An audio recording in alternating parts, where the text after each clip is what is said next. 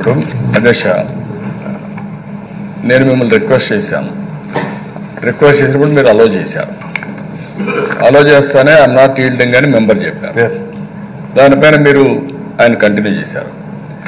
ఆ సాంప్రదాయం అన్ని వేళలా పాటించాలి అధ్యక్ష పాటించడం లేదు. తప్పనిసరి. నేను మాట్లాడినప్పుడు మాత్రం నేను నేను మాట్లాడినప్పుడు కూడా ఎవరిని లేస్తే మీరు అలో చేస్తున్నారు.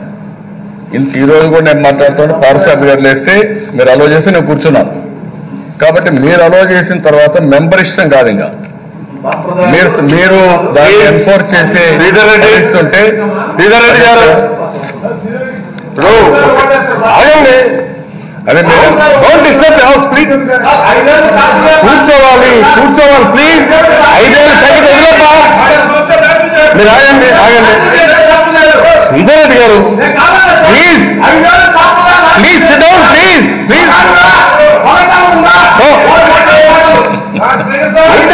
కూర్చోవాలి కూర్చోవాలి ఒక్క నిమిషం అండి ప్లీజ్ ఒక్క నిమిషం ఆగండి చంద్రబాబు నాయుడు గారు మీరు మాట్లాడేటప్పుడు మినిస్టర్స్ కానీ శ్రీధర్ రెడ్డి గారు మినిస్టర్స్ కానీ ఏందబ్బా? మీరు అర్థం చేసుకోవాలి. మీరు ఆగమని తర్వాత ఆగాలి. మీరు ఆగాలి. మీరు ఆగి it's not correct I'm sorry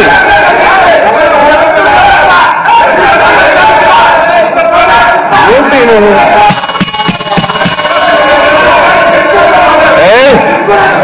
Sridhar Reddy. Sridhar Reddy గారు కూర్చోవాలి మీరు. నేను కూర్చోవాలా. ఉండండి. లీడర్ ఆఫ్ ది అపోజిషన్కి అవకాశం ఇచ్చాము. మీరు ఆయన మాట్లాడతారు మీరు కూర్చోండి. శ్రీధర్ రెడ్డి గారు ప్లీజ్. ప్లీజ్ కూర్చోండి. అది అయిపోయింది. ఆగండి.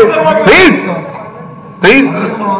Sir Chandrababu Naidu garu మీరు మాట్లాడుతుండేటప్పుడు మీకు జనరల్గా ఎప్పుడు నేను మీరు కూర్చోండి అని నేను చెప్తానంటే మినిస్టర్స్ కానీ చీఫ్ విప్ గారు కానీ లేదు లీడర్ ఆఫ్ ది హౌస్ కానీ వాళ్ళు లేచేటప్పుడు ఒక నిమిషం కూర్చోండి sir. Minister means government side నుంచి ఇస్తున్నటువంటి మనకు మనకి సమాచారం అందించే వ్యక్తి.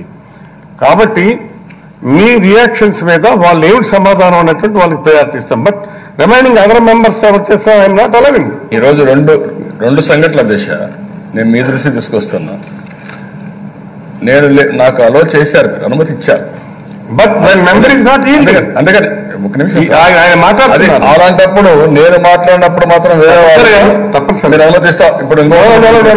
అక్కడ ఒకటే ఉదయం గవర్నమెంట్ గవర్నమెంట్ సైడ్ నుంచి I'm very clear government side నుంచి మినిస్టర్స్ కానీ లేదు చీఫ్ విప్ కానీ లేదు లీడర్ ఆఫ్ ది హౌస్ కానీ మీరు మాట్లాడినటువంటి మాటల మీదను వాళ్ళు ఏమైనా సరే రెస్పాన్స్ అయ్యి దానికి మీరు చెప్పిన దాని మీద క్లారిఫికేషన్ ఇవ్వాలనుకున్నప్పుడు ఖచ్చితంగా వాళ్ళకి ప్రయారిటీ ఇస్తారు రూలింగ్ ఇవ్వండి దిశ ఇక్కడ రూల్ ఏంటంటే మీరు ఒక నిమిషం సాంప్రదాయాలు కూడా మనం అన్ని మీరు సీనియర్ మెంబరు నేను కూడా సీనియర్ మెంబరు కాబట్టి వచ్చింది ఇక్కడ ఇష్యూ మీరు గుర్తుపెట్టుకోవాల్సిన దిశ లీడర్ ఆఫ్ ది హౌస్ లేచినప్పుడు ఆయనకు అవకాశం ఇవ్వడం ఆయన మాట్లాడినప్పుడు అందరూ కోఆపరేట్ చేయడం.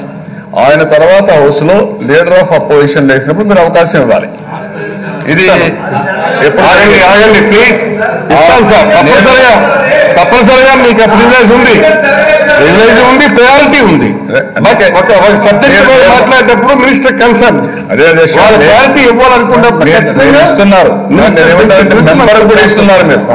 మెంబర్ కూడా వాట్సాప్కి ఇచ్చారు ఈ రోజే. Okay okay. కాబట్టి మీరు ఇవన్నీ మీరు చెప్పండి sir. It is on record దేశ ఇది ఇట్ ఈస్ ఆన్ రికార్డ్ మీరు please please please please please please ఒక్క నిమిషం ఆయన మాట్లాడి మాట్లాడాను రికవర్ కావాలి చెప్తాను దిశ ఇప్పుడు మీరు మాట్లాడారు ప్లీజ్ అమ్మా. చెప్పండి. ఒక మెంబరు. హెడ్.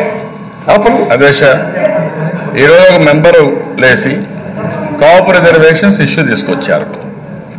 వారి వర్షన్ వారు చెప్పుకోవచ్చు వారి యొక్క పాలసీ వారు చెప్పుకోవచ్చు. నన్ను విమర్శిస్తూ మా పార్టీని విమర్శిస్తూ చెప్పినప్పుడు మేము చెప్పుకునే అవకాశం కూడా ఈ హౌస్లో లేకపోతే మేము బయట పోయి చెప్పాలి అధ్యక్ష. ఇంకెందుకు అవసరం రావడం?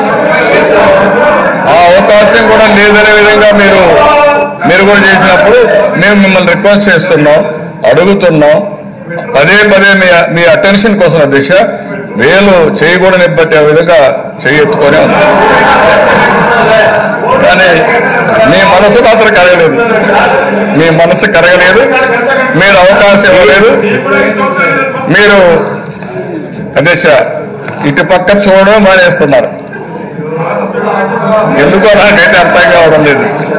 ఏదేమైనా అధ్యక్ష మీ నేను- గౌరవ సభ్యులు కేశవ్ మాట్లాడుతూ సార్ మీరు అటు చూస్తే అందంగా కనబడతారంటే అందుకు నేను అటు చూస్తున్నాను. నేను మేము అనుకుంటున్నాం అధ్యక్ష.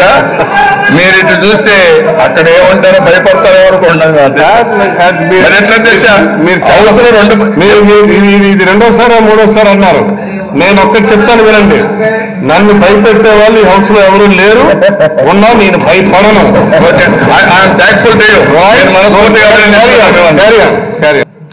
ఆగండి ప్లీజ్ అయిపో అంటే మీకు ఇంపేషెంట్ అయిపోతే ఎట్లాంటి అప్పుడే ఇంకా చాలా ఉంది. చెప్పండి.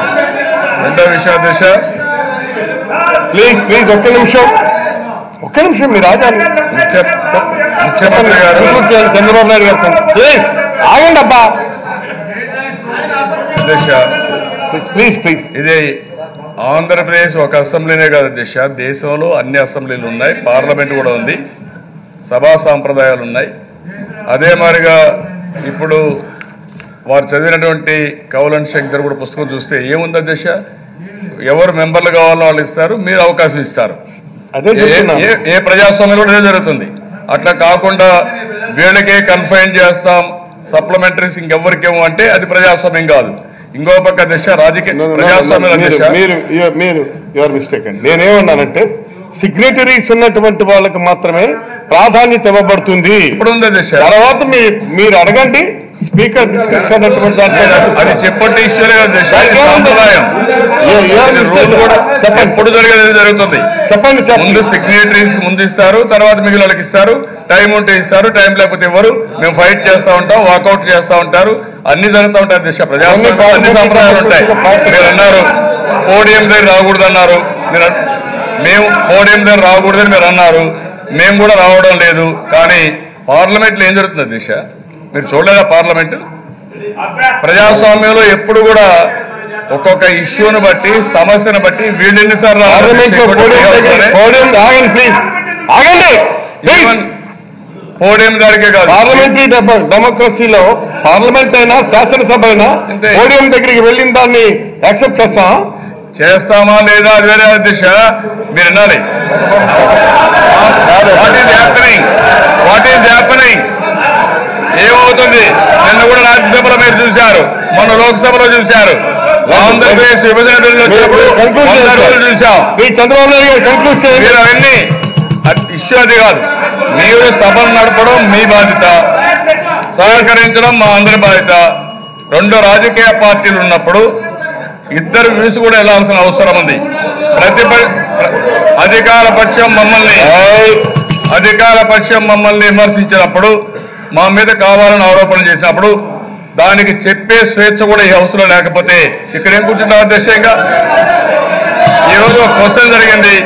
యాభై నిమిషాలు వాళ్ళకి మీరు ఇచ్చారు అవకాశం ఇచ్చారు. వాళ్ళు ఆరోపణ చేశారు తీవ్రమైన ఆరోపణ చేశారు. కనీసం అవును కాదని చెప్పే అవకాశం కూడా మాకు ఇవ్వకపోతే ఇంకా ప్రజాస్వామ్యానికి మీనింగే ఉంది దిశ నేను మరి అదే అడుగుతున్నా నేను. ఆగండి ఆగండి please. అదే మేము అడిగితే మీరు ఇస్తా అన్నారు మైకు. ఒక్క నిమిషం. ఒక- చెప్పండి సార్. మీరు రామచంద్రారెడ్డి గారు. సార్ చంద్రబాబు నాయుడు గారు ప్రతిపక్ష నాయకుడుగా ఈరోజు చాలా బాగా చెప్తా ఉన్నాడు సార్ ప్రజాస్వామ్యం గురించి స్వేచ్ఛ గురించి అంత. గత ఐదు సంవత్సరాల్లో ఆయన ఎంతమందికి సైకిల్ చేశారు మీరు వైపు చూ- చూపియండి. ఎంతమందికి స్లిప్పులు పంపించాడు? ఏ కార్యక్రమం చేశారు సార్? మేము పోడియంలో ఉంటాము ఇక్కడ అందరికీ స్వేచ్ఛ ఇస్తారు మంత్రులకు శాసనసభ్యులకు. ఇష్టం వచ్చినట్లు దివంగత రాజశేఖర రెడ్డి గారిని మా ప్రతిపక్ష నాయకుడు అప్పుడు ప్రతిపక్ష నాయకుడుగా ఉన్న రా జగన్మోహన్ రెడ్డి గారిని ఇద్దరిని తిట్టే కార్యక్రమం తప్ప ఏదైనా శాసనసభలో జరిగిందని అడుగుతున్నాను. ఈ రోజు స్వేచ్ఛ గురించి మాట్లాడతాడు. ఈరోజు ఎక్కడంటే అక్కడ కూర్చోవచ్చంట సీటింగ్లో అప్పుడు ఎందుకు రామచంద్రారెడ్డిని అక్కడ కూర్చోండి అని చెప్పి మీ లెజిస్లేటివ్ అఫైర్స్ మినిస్టర్ దగ్గరే చెప్పించావు నువ్వు? మరి ఓ- ఆయనకు ఒక నీతి మాకు ఒక నీతి. ఇదంతా గురువింద సామెత మారింది సార్. ఇంత వల్లిస్తా ఉన్నారంటే మీరు ఆలోచన చేయాలి సార్. చెప్పండి. మీరు కన్క్లూడ్ చేయండి ప్లీజ్ కన్క్లూడ్ చేయండి. ఇప్పుడు గౌరవ మంత్రి రామచంద్రారెడ్డి గారు చెప్పారు అధ్యక్ష నేనేదో ఎప్పుడో సైకిల్ చేశారు పాత రోజులు చెప్తున్నావు. నిన్న మీ ముఖ్యమంత్రి లేండి లేండి అని సైకిల్ చేస్తున్నాడు. చూసారా మీరు? చూడలా? చూడలా మీరు? రికార్డ్ చూడండి. రికార్డ్ చూడండి మీరు. లేకపోతే లేక లేకపోతే చూస్తున్నాడు. చూస్తే లేస్తున్నారు ఇవన్నీ వద్దు. ఇంక్లూడ్ చేయండి సార్. ప్రజాస్వామ్యుల దిశ లీడర్లుగా ఉండేవాళ్ళు ఏ విధంగా వాళ్ళ యొక్క మెంబర్స్ని లేకుంటే వాళ్ళ సభ్యులు ఇది చేస్తారనేది ముఖ్య దిశ మీరన్నట్టు ఈరోజు అప్పుడు మాకు ఇవ్వలేదు అవకాశం ఇప్పుడు మీ అవకాశం. ఇది ఎక్కడదండి ఇది? ఆ రోజు మీరు ఎన్నిసార్లు పోరాడారండి ఇక్కడ? ఎన్నిసార్లు పోడియం జరిగిపోయారండి? ఎన్నిసార్లు స్పీకర్ తిట్టారండి? ఎన్నిసార్లు మమ్మల్ని నన్ను తిట్టారండి మీరు? తిట్టారా మీరు? ఇప్పుడు కూడా తిట్టున్నారు అప్పుడు తిట్టారు. మీ అంత అసభ్యంగా నేను ఎప్పుడు మాట్లాడలేదు. అవే గుర్తుపెట్టుకోవాలి. అందుకే అధ్యక్ష కూర్చోవాలి.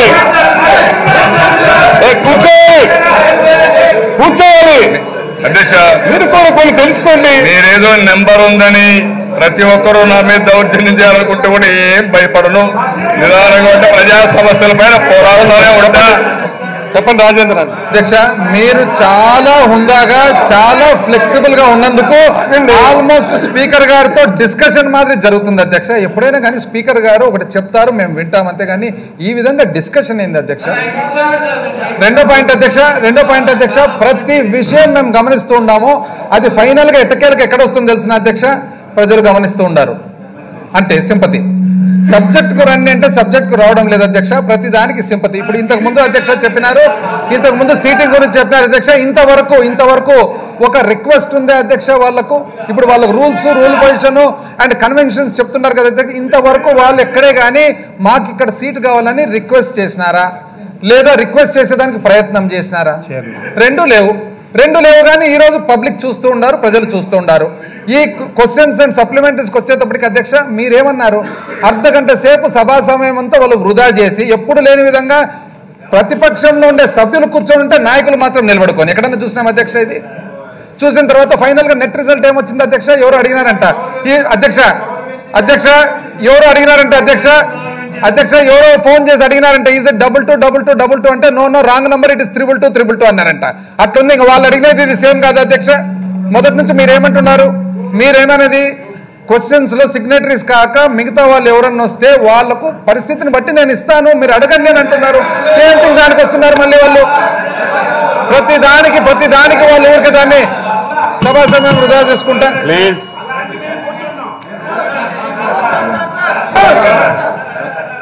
సార్ అధ్యక్ష జీరో అవర్ అనేది క్వశ్చన్ క్వశ్చన్ అవర్ అనేది క్వశ్చన్ మామూలుగా తొమ్మిది గంటలకు స్టార్ట్ అయ్యి టెన్ థర్టీకి మామూలుగా అయిపోయి చేసి టెన్ థర్టీ నుంచి బడ్జెట్ మీద జీరో అవర్ అతను బడ్జెట్ మీద డిస్కషన్స్. ఎక్కడన్నా జరుగుతూ ఉందా అధ్యక్ష? ఇంతవరకు రెండు క్వశ్చన్లా మూడు క్వశ్చన్లా? రెండు క్వశ్చన్లు. ఇంతవరకు రెండు క్వశ్చన్లు. ఇక బడ్జెట్ మీద డిస్కషన్ అనేది ఏదైతే మోస్ట్ ఇంపార్టెంట్ అంశం మీద డిస్కషన్ అనేది కనీసం డిస్కషన్ చెయ్యాలి అన్న ఆలోచన కూడా ఏమాత్రం కూడా లేకుండా సీట్లు ఎక్కడ ఉండాలా? ఎవరు పక్కన కూర్చోవాలా? ఏ మేము మేము మేము క్వశ్చన్ మేము మేము ఆ క్వశ్చన్ అడగడానికి ముందుగానే సంతకం పెట్టాం. పెట్టకపోయినా కానీ మేము ఏళ్ళు చూపిస్తే సార్ మాకు ఇవ్వాల్సిందే. మీది మా ఇది మా హుక్కుము. ఒకవేళ మీరు ఇవ్వక ఇవ్వకపోతే డెమోక్రసీని మీరు కాల రాస్తా ఉన్నారు. ఈ మాటల మీదనే చర్చ గత అర్ధ గంట సేపటి నుంచి ఇదే విధంగా జరుగుతూ ఉంది. చంద్రబాబు నాయుడు గారు లేయడము ఆయన ఏదో ఏదో అన్యాయం జరిగిపోయినట్టుగా ఆయన గింజుకోవడము ఆయనకు తోడు వెనకాల ఆయన సభ్యులంతా కూడా ఉండేది ఇంతమంది ఉండరు. వాళ్ళంతా కూడా మళ్ళీ లేచి మళ్ళీ దానికోసం గింజుకోవడం. ఏమన్నా ఇది ఏమైనా జరుగుతా ఉంది అధ్యక్ష? రెండు రెండే రెండు క్వశ్చన్లు. ఇంతవరకు పది క్వశ్చన్లు ఉన్న పది క్వశ్చన్లు ఉన్న చోట కేవలం రెండే రెండు క్వశ్చన్ల మీద జరుగుతా ఉంది. ఇంకా బడ్జెట్ మీద దయచేసి ఇంకా బడ్జెట్ మీద కూడా కానీ దయచేసి ముందుకు పోయే కార్యక్రమం దయచేసి ఇనిషియేట్ చేయమని చెప్పి అడుగుతా ఉన్నా అధ్యక్ష. తప్పనిసరి please don't give running commentary ఎవరైనా కానీ. సజరీ బెంచెస్ నుంచి కానీ అక్కడి నుంచి కానీ.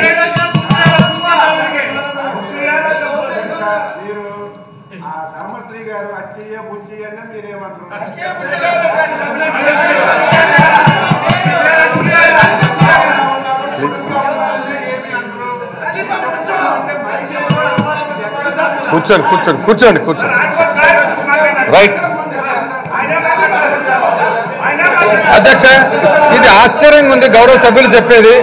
నెల్లూరులో ప్రతి ఒక్కరిని కూడా అయ్యా అని అంటారు అచ్చయ్య బుచ్చయ్య అంటే అయ్యా అని రెస్పెక్ట్తో వాళ్ళు అధ్యక్ష పోయినసారి పాతేస్తాం తోగేస్తాం బూడ్చేస్తాము మీరు మగవాళ్ళ మీరు ఇవన్నీ ఎన్ని మాటలు అధ్యక్ష? మాట్లాడేది ఎవరు? పోయి పోయి వాళ్ళ మాట్లాడేది? రైట్ ఏంటి రామోహన్ రావు? చెప్పండి. అచ్చయ్య బుచ్చయ్య అన్న మాట్లాడరు. లావుగా పొడుగ్గా ఉన్నా మాట్లాడరు అంటే దీనిలో ఏముంది అచ్చయ్య? అచ్చయ్య గారు బుచ్చయ్య గారు లావుగాను పొడుగ్గాను ఉన్నమాట. నిజమే దీనిలో తప్పే ఉంది? ఆయన పొడుగ్గా లావుగా లేరా? నాకు అర్థం కాలేదు. తప్పేం తప్పే లేదు. నేను కొట్టేసాను కాబట్టి తప్పే. దానికి దానికి ఏం తప్పే ఉంది దానికి? అదేమన్నా అన్పార్లమెంటరీ ఇదిగో ఇక్కడ. చౌదరి గారు ప్లీజ్ కూర్చోండి. రామ్మ రామ్మోహన్ రావు. మీరేంటి? క్వశ్చన్ అవైల్ చేసుకుంటారా? ఎందుకంటే